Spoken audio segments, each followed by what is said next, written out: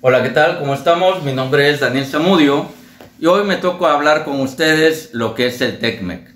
El TECMEC es el Tratado de Libre Comercio entre México, Estados Unidos y Canadá.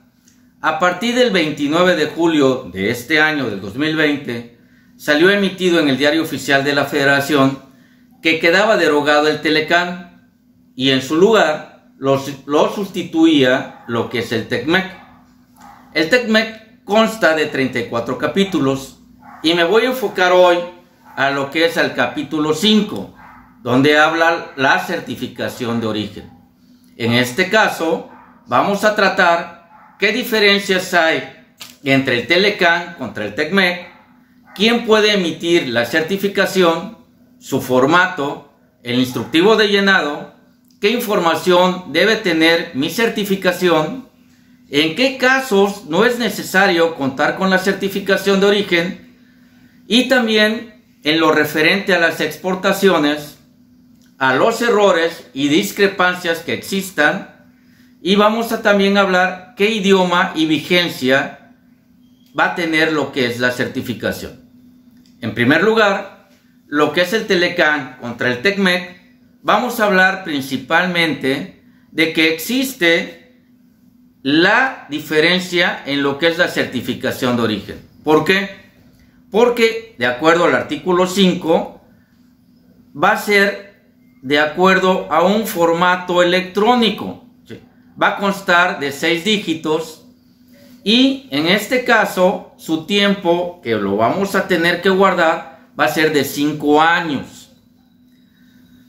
La operación va a estar emitida por un año. ¿Qué quiere decir esto?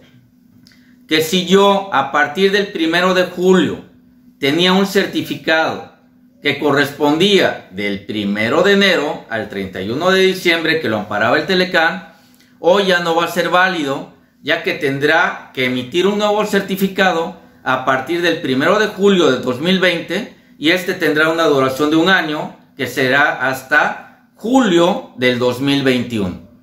El formato oficial, en este caso, no hay formato en este certificado. Por lo tanto, puede llenarse en la parte de atrás de la factura con los requisitos que les estoy dejando acá con el instructivo de llenado y el formato que se debe de poder utilizar. También se puede hacer en un formato libre. Ahora bien, ¿en qué idiomas debe de estar este certificado. Debe de estar en el idioma español, inglés y francés. Pero aún así, por recomendación, hay que ponerlo en español. ¿Cuánto tiempo va a durar lo que es el certificado? El certificado va a durar un año y se tiene que guardar por cinco años obligatoriamente.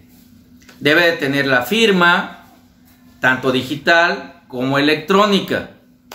Cuando la aduana en el, en el lugar de origen nos solicite una copia, nosotros estamos obligados a extenderle una copia de este certificado. ¿En qué casos no es necesario tener lo que es el certificado de origen? Bueno, pues aquí en México si tiene una cantidad de mil dólares de acuerdo al artículo 5.5 del tratado no es necesario presentar el certificado. En Estados Unidos se establece que será de una cantidad de 2.500 dólares. Aquí el exportador o productor son los que podrán emitir el certificado. En México el importador será tres años posteriores que deberá de ser a el enero del 2024. ¿Qué sanciones pueden llegar a tener? Aquí puede haber errores de dedo, puede, puede haber errores en un momento dado de que la copia no es legible. Entonces nosotros debemos de contar con cinco días hábiles para poder corregir ese certificado y presentárselo a la aduana.